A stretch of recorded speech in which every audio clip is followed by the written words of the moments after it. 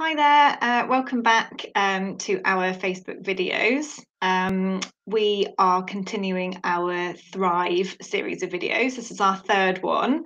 Um, my name's Lizzie, and we've also got Mary with us today. Um, so we're going to continue our theme of time, the first topic in Thrive, um, and we're actually going to continue talking about turning points, which we introduced last week. Um, so just to recap quickly, um, we talked about turning points, which are um, when you reach a decision to make a change or accept a situation.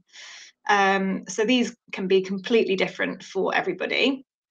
Um, and just to give you a bit of an example, um, so turning points can be uh, intentional changes that we make, such as changing jobs, moving house, a relationship change, things like that um, or they can be unintentional. So um, a change might come about from something that somebody has said, um, something you've read, um, or, or, a change in mindset.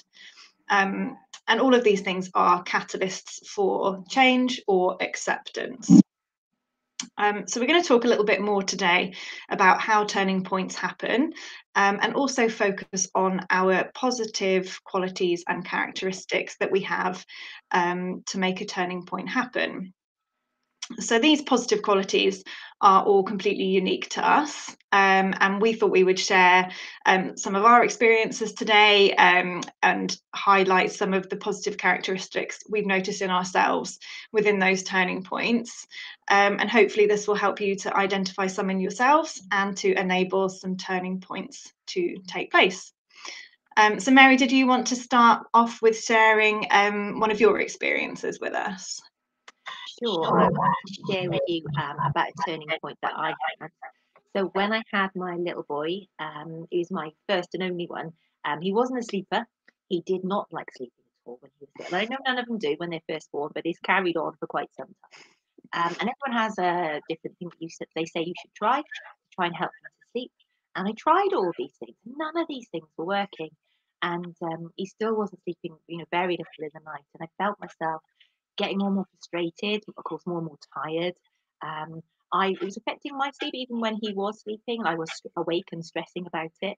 And you start to feel down then, and you start to feel um, like you're not doing a very good job really as a mum. So it did start to um, affect me. And my turning point within that was sort of realizing, I think, that this can't continue. That this this isn't uh, working. This way of dealing with this. And um, I knew that I needed to do something about it, make a change. But for me, it was about accepting the fact that he just wasn't a sleeper. That um, probably anything that anyone had suggested wasn't going to help him to sleep. But he was just the way he is. I needed to just roll with it, really. Um, and so that's what I did. And it worked. It, it, he, he didn't sleep. He still didn't sleep um, for quite some time. But I slept a lot more because I wasn't stressing about it. So I was able to sleep um, and not look at the clock about when he always woke up again. I just slept through um, you know, in between those times and felt a lot better for it, really. Um, so, and I think those qualities, just thinking about the qualities within myself that enabled that to happen, um, was recognizing that if something wasn't working, this this situation couldn't continue. Um, and for me, I suppose there was um, self belief that and confidence that I could decide to not listen to others and to make my own decision that was right for me at that time. Yeah, uh, yeah. so that was my quality. Okay, so Mary, it sounds like you really um, you you really embraced uh, that kind of accepting of the situation rather than trying to change something that that that wasn't changing, and, and that was your turning point that that acceptance, and then that then had a, a real impact on your your well being. Um, and I think often with with turning points, um, we can't always control the events that go on around us, but what we can control or, or make some headway um, towards controlling is how we how we react to them, how we feel about them, how we think about them. Um, and it sounds like having that self belief, having that confidence, um, that was so much more important to you than um, you know listening to other people you know people's advice that that wasn't helpful for you so um yeah that's that's a really good example of that kind of acceptance being a turning point Um, I guess I wanted to share one of mine as well, which is a little bit different to Mary's. Um, so for me, a big turning point in my life was when I I moved. So I was living in London, um, and I moved from London to uh, here in Mid Wales. So a big a big lifestyle change for me, um, and I found that um, you know, I wasn't happy where I was living before. It was very busy. It was very stressful. My job I'd fallen out of love with. Um, I lived in a in a tiny flat. Um, the things that I enjoyed, you know, being out in the countryside, I, you know, it wasn't a part of my life. And I just got to the point. My, you know, I reached the turning point where I thought I'd like to change this, and that was that was very scary. Um, you know, some people around me kind of made me question it and doubt it, and and a bit like you, Mary, I just kind of had to go with that self belief and that confidence that no, this this is right for me. Um, and I did it, and it was great, and um, haven't looked back.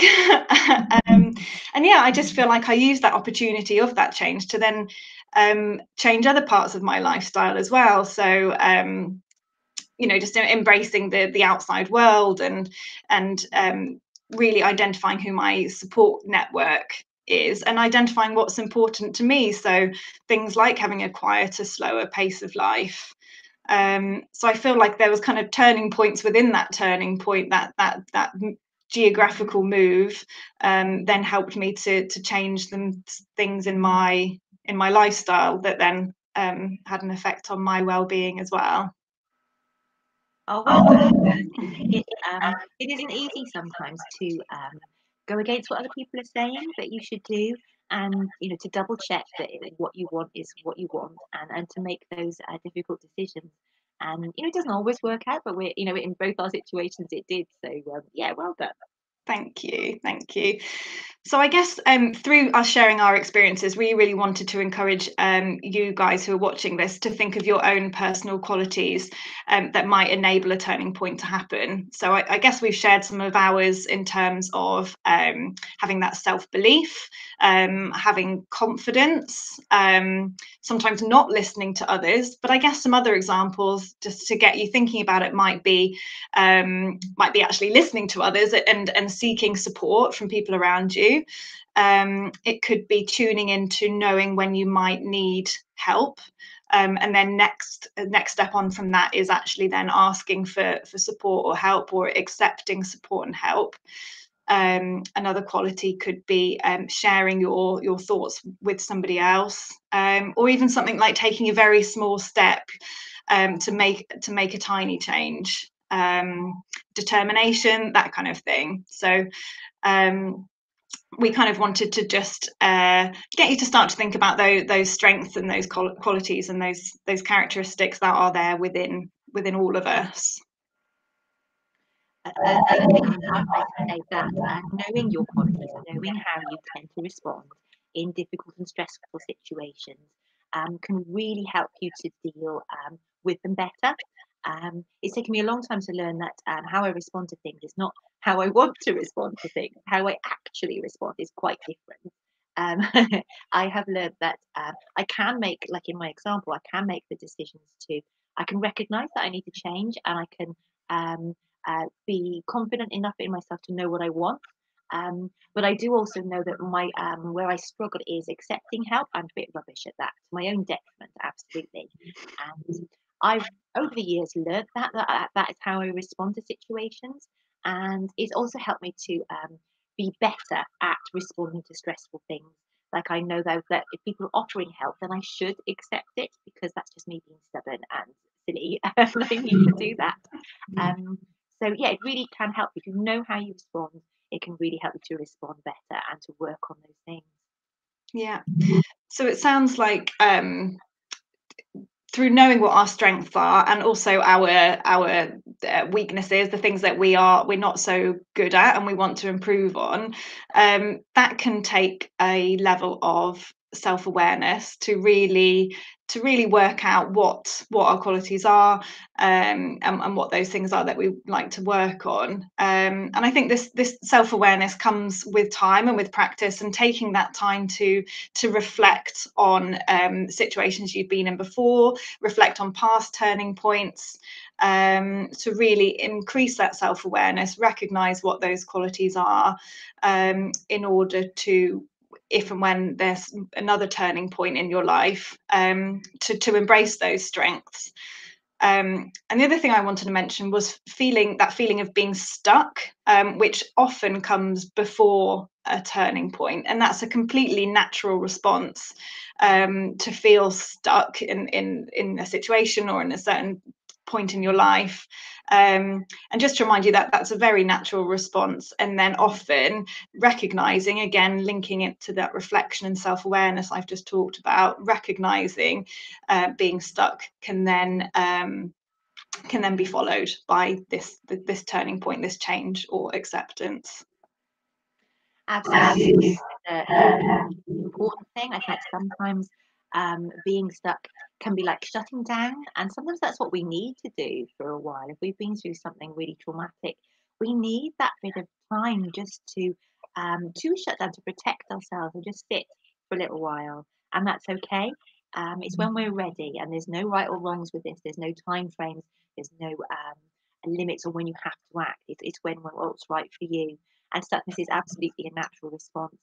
Um, and I think that you can think of um, symptoms of poor mental health sometimes in that same way, in that same frame. Um, that, for example, in my situation, I wasn't sleeping so well. I was starting to get down and frustrated. You know, those symptoms that I'm, my mental health is starting to struggle are a very natural response to a difficult situation and what was happening to me. And I think it can really help us to think of some of those symptoms of poor mental health as often nat- very natural responses to difficult things. Yeah, absolutely, Mary.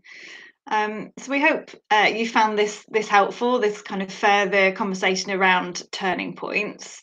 Um, what we hope that you've got out of it is um, for, to get you thinking about those positive characteristics um, that enable the turning point to happen. And um, we'd love to hear um, about those those thoughts that you've had and, and what characteristics and qualities you've you've pinpointed.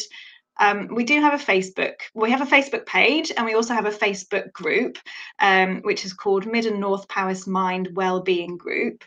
Um, we'd love for you to to join that group and and perhaps share some of your the thoughts that you've had while watching our videos, um, and if it's kind of um, yeah got you thinking about some of the things we've talked about today.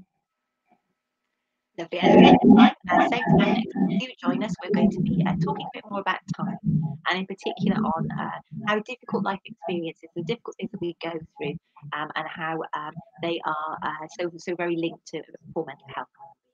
So do join us then, and thank you for uh, listening today. Bye-bye. Bye.